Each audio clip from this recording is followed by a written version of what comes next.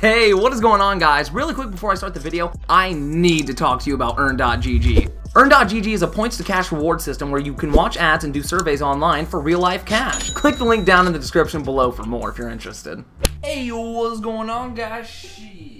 Alright, and we're back again. What is going on guys? My name is Rudy Comes you getting another new video for the fans. Um, I'll be honest with you, I forgot to clean my face before going into this video because I am getting sick. And yeah, my intro was kind of making fun of Tenser if you guys didn't realize, you know, I said uh, for the fans. And I'll be honest with you guys, I think Brian's intro sucks. It actually sucks so bad, I went ahead and wrote it on my calendar. Nah, I'm kidding, we love Brian. Sometimes. Sometimes we love Brian. No, but anyway, I think this is going to be kind of a shorter video because I haven't talked about the story yet, and I never wanted to talk about it because I always thought it was kind of a short story. But it's content you haven't seen yet, and that's what matters. And actually, before that, okay, so yesterday, I, I know every one of my followers and subs knows about the whole verified thing. Well, yesterday, I think Twitter tried telling me something because I started showing up in people's verified tabs. Now, if they could just fuck off. And instead of giving me all of the perks of a check mark, this is essentially what they did. They gave me all of the perks of the check mark, aside from the fucking check mark. Dude, is there any way you guys can like Give me the check mark, but none of the none of the shit that comes with it. And sorry if I can't get excited as shit, dude. My my throat hurts so bad. I literally drank all of these. Like half of this thing is gone, dude. And I I fucking hate Dasani water. But no, today Twitter did tell me that they were gonna be reviewing my account for it to get verified. So if in the next few days you see me without a check mark, I'm actually gonna be sad as fuck. Okay, so anyway, today is my friend Cass's birthday. You know, he tweeted out it was his birthday, and I was like, shit, you know, I haven't seen Cass in a minute. And I sat in bed, you know, I wished him happy birthday and everything. I was like, shit, you know, oh yeah, remember that one time you got me strip searched by our fucking school's officer? so here's that story. So back in the day when I was in high school, freshman through senior year, all of my friends and I were complete idiots. Let me just state that for the right, like, literally everything that's going on here can be just explained by the fact that we're fucking stupid. No one was having an off day, no one was having a sugar rush, no one had too much fucking coffee. No, it was every day just what kind of bullshit can I put everybody through today for my sheer enjoyment of, you know, just me and my friends. And keep in mind, you know, we were the little accelerated nerd class, so I mean, we were getting our shit done, like our grades were good and everything.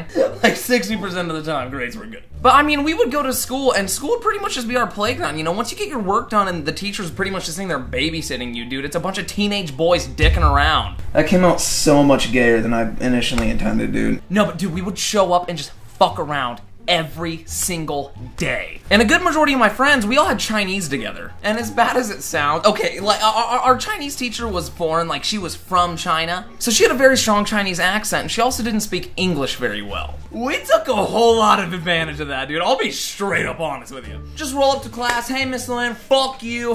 Hi. And then, you know, we'd say, oh, ni hao, ni hao, you know, shit like that. You know, it was awesome. Kids, you cannot do that. So each and every day, my friends and I, you know, it was me, my friend Cass, and then we had like four or five other people in there, and it was just us guys. And that was just the seniors, dude. We had a bunch of juniors in there too that were just like us, and for those of you that are foreign and wrong, seniors are year 12 of school and juniors are year 11. So we're like 16, 17 years old, dude, we're all retarded. It was every day walking to class, string of swear words, fuck you to everybody, middle fingers up, just don't give a fuck. school watches my videos. But eventually, you know, we were always just cracking up and, you know, making jokes and but we were all just going to Chinese strictly just to get a laugh at this point, dude. No one was paying attention. I mean, the people that were doing their work were copying off of other people. Dude, let's be real here. I don't know what the hell happened for my two years in Chinese. Straight up couldn't tell you a lick of the language or any of the characters, but damn it, we had fun and that's what matters. So finally our jokes get progressively more and more just fucked up. So I'm walking into Chinese, it's like middle of February. Hey, Miss Lynn, Cass has a fucking gun in his bag. Cass be like, no, uh, Clayton's got plastic explosives and he's got a detonator too. and we had my friend Brady and a whole bunch of other people in on it and shit. Dude, it was the funniest thing I think I've ever witnessed. Cause we're sitting there and kids are like, oh yeah, Clayton has a fucking 12 gauge in his locker and he's telling us to text our parents goodbye. like, this!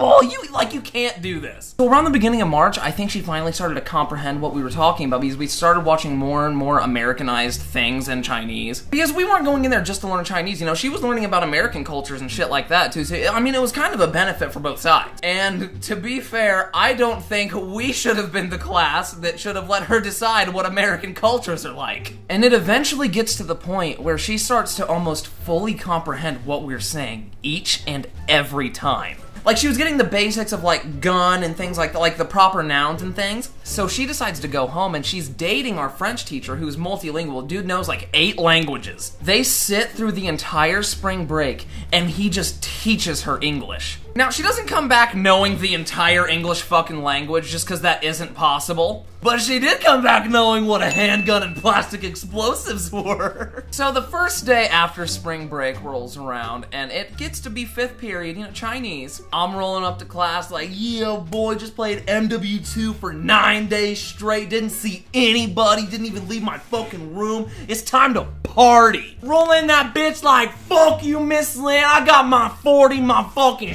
strap on me. And Cass is like, yeah, I see that fucking bomb in your bag. And I'm like, yeah, boy, check out the detonator. I've got my phone. Dude. Five minutes into my rant, I'm still going off like, yeah, fuck yeah, I got my 12 gauge and shit. We're all going in. Brady's like, yeah, I got my Glock 40s. Who's ready to go to fucking middle school? For some reason, the school officer and the uh, the vice principal show up at the door. Yeah, uh, we're gonna need to see Mr. Huddleston, and um, we're gonna need to have him patted down before he leaves. And I'm like, okay, what the hell did I do? And they're like, nah, you gotta come with us, dude. My shit was handcuffed, I, like hands behind my back, like guided walking into this private room. Uh, give me a sec. You know, I've had to down. This is my 15th water bottle today. I have to go take a piss. I'm gonna like continue the story as I'm walking away though.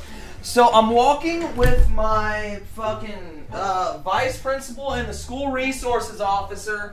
I don't know if you can hear me from over here when I'm taking a piss. No, but anyway, these dudes are leading me into this private room, and I'm like, what the fuck are you guys doing? Oh no, we've had it with your shit this time. We've dealt with you poisoning kids with cheese and getting kicked out of the Holocaust Museum. And I'm like, dude, I haven't even done anything wrong yet. Like, you guys are just handcuffing me and shit. Oh no, apparently you're packing heat. And I was like, oh shit. And I look my school resource officer like dead in the eye and I'm like, dude, what the hell are you talking about? He's like, oh, you don't have a fucking shotgun or no plastic explosives? I'm like, dude, you sound like a fucking lunatic. What are you talking about? And these dudes are sitting there going through my backpack and shit while I'm sitting there handcuffed. And they're like, alright, drop your drawers. And I'm like, motherfucker, I seen some pornos and I know how they start. I'm sitting there like, uh, no. And he's like, all right, well, you're going to jail. I was like, all right, have, have at it. Drop my shit real quick. Oh, dude, right in my boxers, like nothing else on. They're patting me down and shit. And I'm just sitting there, you know, freezing my dick off like, yep. Glad you guys found my 12 gauge. And no, that isn't a detonator. And no, I'm not happy to see you, sir.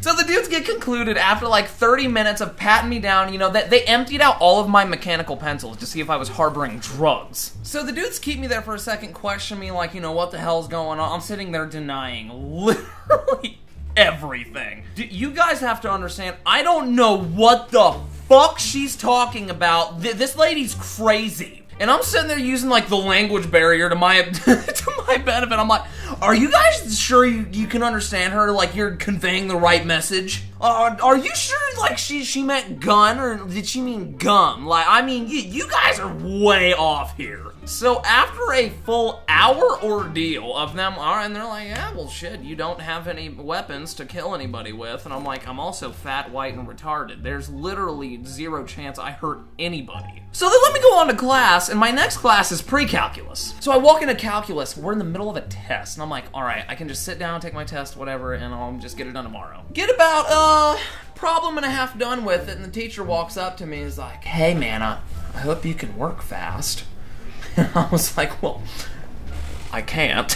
well, because, you know, for one, I don't really pay attention in here. And for two, you know, it's calculus. For three, you know, I'm working on about 20 minutes of time here. So if you could cut me some slack, dude. He's like, yeah, well, no, they, they kind of told me why you were in the office and uh, why, why you were missing class. So uh, you get today to work on it, and uh, that's it.